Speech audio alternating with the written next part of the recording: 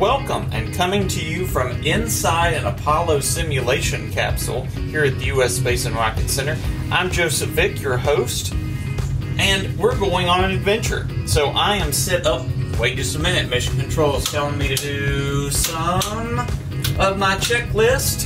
That is checked off the list, and we're ready to go. So looks like I'm about to make uh, a few uh, small steps for mankind, uh, a few giant leaps as well. So with this, notice I'm the only one in here, but for an Apollo historical mission, there would have been three astronauts inside the capsule.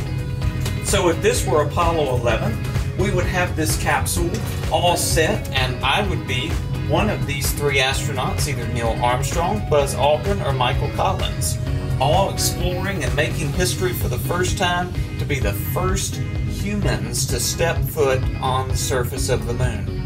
But on the meantime, they would be inside this capsule going together, joined with another part to make it a uh, command service module.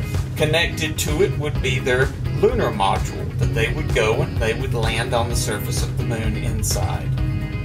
So this is one piece of many that it takes. And the piece that I am in now, this part, would be on the very top of the Saturn V rocket.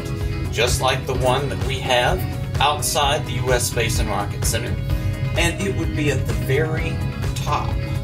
And that's where the astronauts would be upon launch, and that's where the astronauts would be coming back and splashing down into the Earth's ocean when they return. So, just like I'm doing a checklist, you may at home may have a checklist of things that you do, where your parents act, maybe your mission control objectives to do during the day. Wake up, put on your pajamas, get dressed, brush your teeth.